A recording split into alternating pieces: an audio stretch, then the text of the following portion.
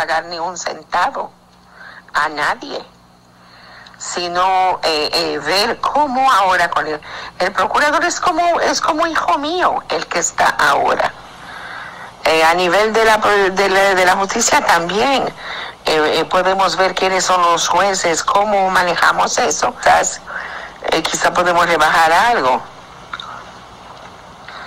Yo no tengo que pagar nada. Su abogado ahora mismo está diciendo, está tratando de conseguir eh, lo que está tratando de conseguir.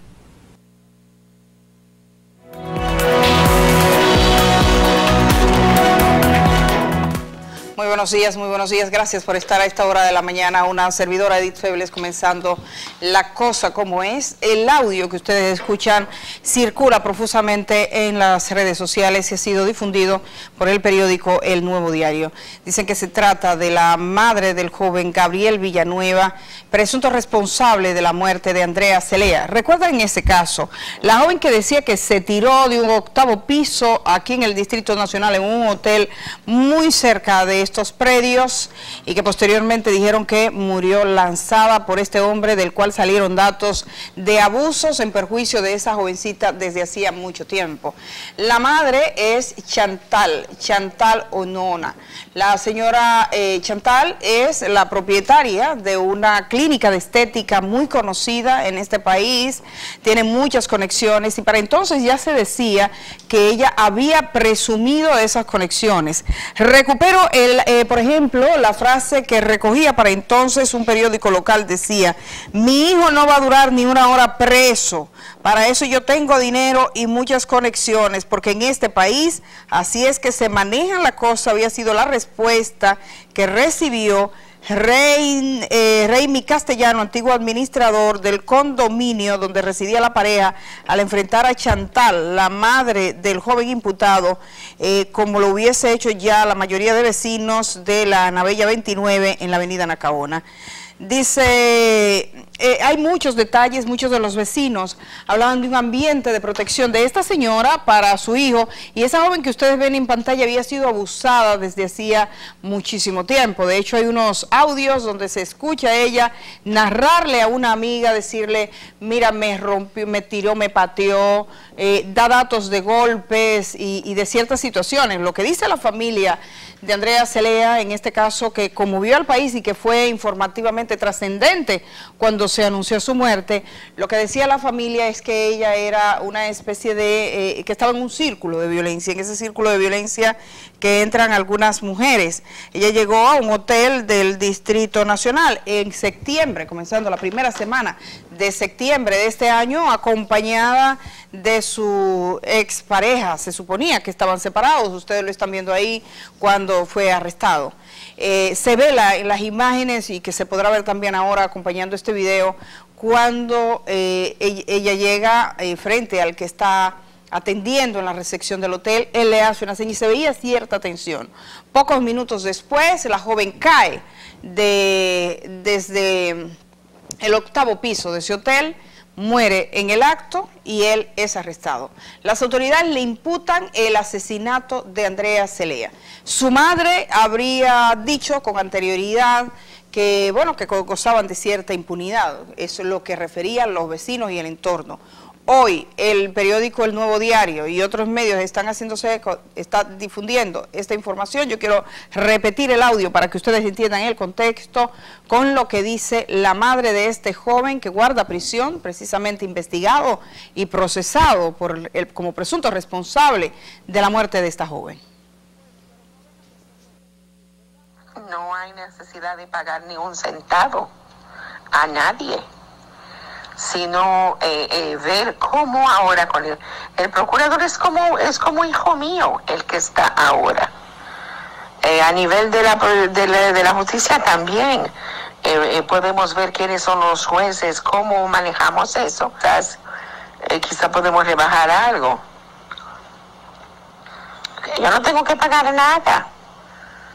Su abogado ahora mismo está diciendo está tratando de conseguir lo que está tratando de conseguir.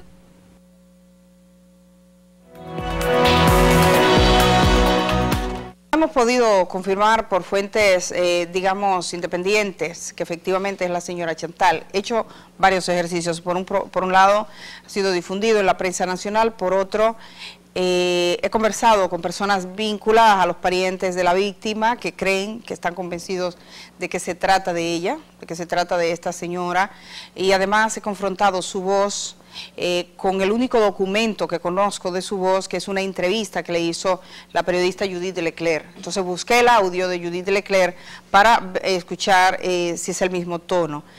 tengo personas vinculadas que dicen que sí, que efectivamente se trataría de ella. Sería bueno que esta señora explicara el contexto. Yo creo que aquí hay dos cosas. Primero, ella dice, no hay necesidad de pagar dinero. Entonces alguien estaba pidiendo dinero. Se supone que en el sistema judicial nadie debe pedir dinero. Ni al hijo de ella, ni a nadie, en ningún una decisión judicial, miren como dijo el presidente de la Suprema ayer, que esto es eh, que esto se va a limpiar, que esto no nosotros somos eh, bueno, que cero corrupción. Entonces, en un sistema de justicia donde ya sabemos que se venden sentencias, una eh, afirmación de esa naturaleza habría que ver en cuáles de las instancias alguien pidió dinero. Yo creo que al sistema de justicia, tanto jueces como Ministerio Público, le conviene hablar con estos señores y preguntarle, oye, ¿quién está pidiendo dinero? ¿A qué abogado le pidieron dinero? ¿Quién quiere tomar una decisión para favorecer a su hijo en base al dinero? Y entonces decirle eso que se escribe en los libros de textos y que se le enseña a los jóvenes estudiantes de, Derecho o que se le enseña a los estudiantes de la Escuela del Ministerio Público o de la Judicatura, eh, del Consejo Nacional de la Magistratura, decirle, miren, eh, eh, aquí es la ley la que impera, para que por lo menos nos creamos que es la ley la que impera al momento de los juicios que nadie diga que es vendiendo sentencia. Yo creo que eso constituye una denuncia, el hecho de que haya ahí una referencia. No hay que pagar ningún dinero no tenemos por qué dar un chele. ¿Quién estaba si hubo alguien que reclamó dinero? Sería bueno aclarar eso. El otro aspecto que está ahí es que ella dice, el procurador es como hijo mío. Entonces habría que ver bajo qué supuesto, si ella lo dice, como lo dice a quienes le toque aclarar el punto. Mientras tanto, en, las páginas eh, de diarios y demás, circula este audio que pone una vez más en cuestionamiento el sistema. Yo la verdad que lo difundo solo porque esto constituye una alerta, por los dos motivos que le digo. Constituye una alerta de si efectivamente alguien está pidiendo dinero, eso es lo que corresponde ser investigado, y segundo, si ella presume de unos vínculos que siempre se temieron, porque al principio, cuando se habló de este caso, lo que se decía es que es gente poderosa, y como que aquí se cree que si alguien tiene cierto poder, la justicia no alcanza para llegar a ese poder. Ese es uno de los problemas, la gente mira con desconfianza. No debería ser, debería ser que impere la ley. Yo quiero que escuchemos cuando el hijo eh, suyo es conducido en, los, en el Palacio de Justicia de Ciudad Nueva, nada más ser arrestado, los términos en los que él se pronunciaba entonces diciendo que era inocente. Tenemos el video del joven eh, Villanueva cuando se desplaza en el Palacio de la Policía. Está ahí, es uno de los que está contabilizado. Yo tenía tres videos acá, que lo, voy a recordar. El número tres es Gabriel. Vamos a escucharlo. No, yo soy inocente. Hemos logrado el aplazamiento de la audiencia para el próximo miércoles a las diez y media a los fines de discutir la sentida probatoria o indicios graves, serios y concordantes, así como los presupuestos que harán presumir de que nuestro encartado no presenta un peligro de fuga. Eh, en el caso de Gabriel, él se siente muy conturbado, muy triste, porque era su novia. Acongojado por la muerte de la que habría sido su novia, en ese momento le señalaron como el responsable. Todavía no sabemos qué elementos probatorios tiene el Ministerio Público para documentar que efectivamente no se trató de un intento de, no fue un, un suicidio, sino que fue un homicidio. Son dos figuras distintas. Ella cae, mírenla ahí cuando llegan al hotel, ella cae del octavo piso, eh, hay que ver si tienen testigos, si tienen evidencia, los análisis que se hicieron, si había imágenes de cámaras, todo ese tipo de documentos que obviamente toca discutirlo más que nada en las instancias judiciales. De todas maneras, hay preocupación y cuando uno escucha audios de esta naturaleza, por supuesto, supuesto hay cierta preocupación. Sería bueno, y yo incluso trataba de, de hablar o tener algún contacto, incluso con doña Chantal, porque es necesario que doña Chantal diga si ella piensa de ese modo, si le pidieron dinero, si no le pidieron dinero, quién se lo pidió. Todo eso es importante en este proceso, que es un proceso que como pasa acá, eh, de alguna manera los casos toman relevancia puntualmente. Llegan los, las noticias del otro día y se va sustituyendo, pero siguen ahí. Entonces, bueno, ahí está planteado. Debo decir, he recibido algunas imágenes y ahorita se las presento, ustedes escuchan el audio, y ahorita las presento. Hay en este momento en el sector Buenos Aires de Herrera encendido, quemando gomas, protestas y demás. Protestan por la desaparición de un joven, ustedes se recuerdan ese caso, eh, que lo presentamos, eh, que fue un secuestro, aparentemente un secuestro, un rapto. En México le llaman un levantón, cuando se cree que responde a algún tipo de, de ajustes de cuento o lo que fuese. Eh, no se sabe, las autoridades no se han pronunciado sobre este caso. Yo mostré esas imágenes porque las recibí de personas que viven en el entorno de Arroyo Hondo, cuando en horas de la noche esta persona se desplazaba junto a una mujer. Conforme a las imágenes que están en mi canal de YouTube, se desplazaba y ve un carro blanco, se le atraviesa un vehículo delante, otro se pone detrás, salen tres hombres vestidos con indumentaria como si fueran de la Dirección Nacional de Control de Drogas. Él comienza a vocear, me están atracando, me están atracando golpean, lo entran en el vehículo, a la mujer lo entran en otro vehículo y desaparecen. Desde entonces, y ha pasado ya unas tres semanas, todo no se sabe nada de ese caso. Yo he podido conversar con algunas personas conocedoras de ese expediente, no lo he tratado más, he dicho a los familiares, ustedes quieren hablar de eso, díganlo, eh, de él. Eh, tenía en un momento determinado su identidad, tenía antecedentes por drogas en, el año, eh, hace ya, aquí está el caso, el vehículo, cuando esto ocurría, tenía antecedentes por drogas, en, que había sido procesado, eh, pero no hay noticias. Y obviamente nadie merece desaparecer que, sin que se sepa qué ocurrió. Entonces, lo que está es la gente protestando en las calles del sector Buenos Aires de Herrera, porque ahí era que este hombre residía, reclamando su aparición. He recibido algunos videos y recibí notificación de que en el día de ayer eh, iban familiares y miembros de la barriada a presentarse al Palacio de la Policía, también a exigir información, pero no hay más información. Yo he conversado con alguna fuente de la Policía Nacional que habían dicho que este caso estaba siendo investigado.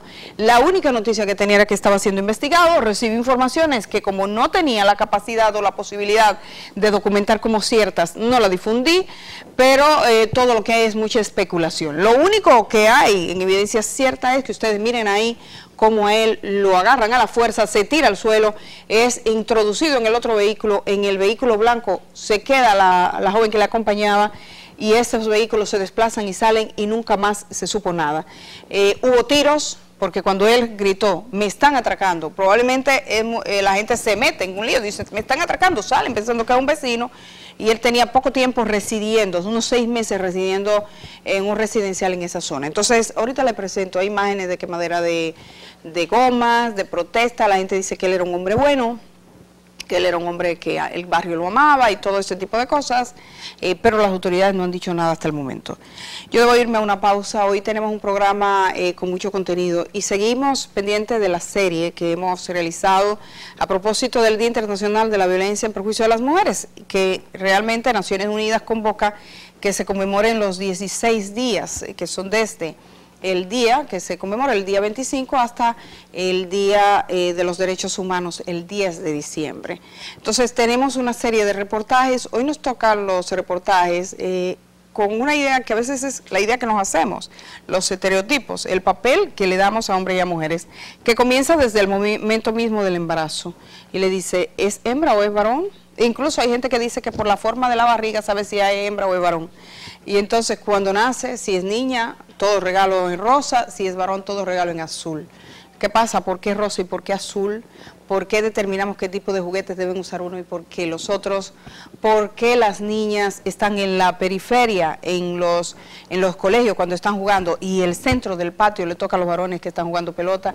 Todo ese tipo de cosas. Los estereotipos de género es el contenido de este día tratado por especialistas. Y además tenemos la presencia de mujeres que han roto los estereotipos, trabajando de muy diversas maneras, sobre todo con apoyo económico de la cooperativa de Herrera Coterrera, que ha sido la auspiciadora de esta serie con ellos vamos a conversar también en el programa de hoy. Hacemos el cambio Gracias a los que están en YouTube, reporten su sintonía y no olviden suscribirse.